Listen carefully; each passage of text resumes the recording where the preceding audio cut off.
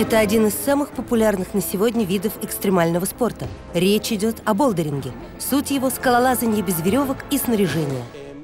Вам совсем не обязательно обладать большой физической силой, как вы, вероятно, полагаете.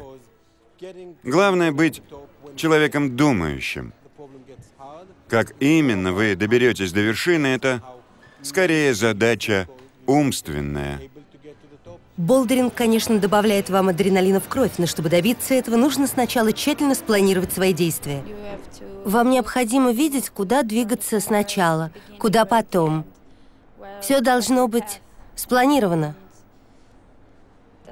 Где взяться правой рукой, когда перехватить левой.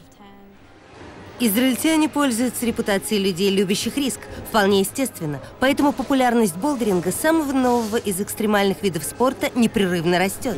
Израильтяне ждут от занятий экстремальными видами спорта острых ощущений, риска. Ведь именно это сообщает вкус жизни. Люди любят, когда их что-нибудь будоражит. Страсть израильтян отвечать на любой рискованный вызов проявляется везде. И на воде, и на земле, и в воздухе. Испытайте плавание со скубой в Мертвом море, самой низкой точке на земном шаре. В этом море не водится рыба, зато вы увидите нетронутые соляные кристаллы и мир геологических чудес.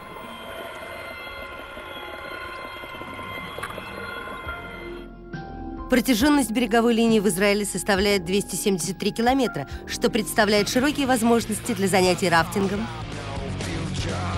стоячим серфингом с веслом, серфингом, виндсерфингом и кайтингом.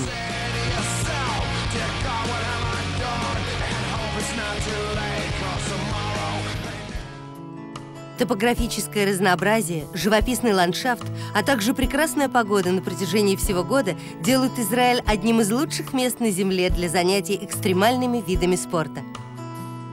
Сесть на горный велосипед в пустыне вдали от избитых троп и порция адреналина вам гарантирована.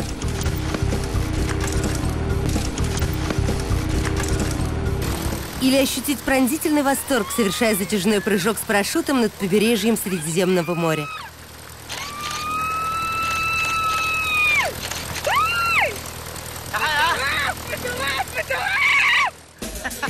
Параглайдинг – еще одна прекрасная возможность коснуться неба. Попробуйте взлететь в воздух, делая Олли или Нолли на скейтборде. Сообщество скейтбордистов в Израиле приветствует жизнь грохотом скейтбордов. Мы действительно тот народ, который ищет экстрима. И мы его находим.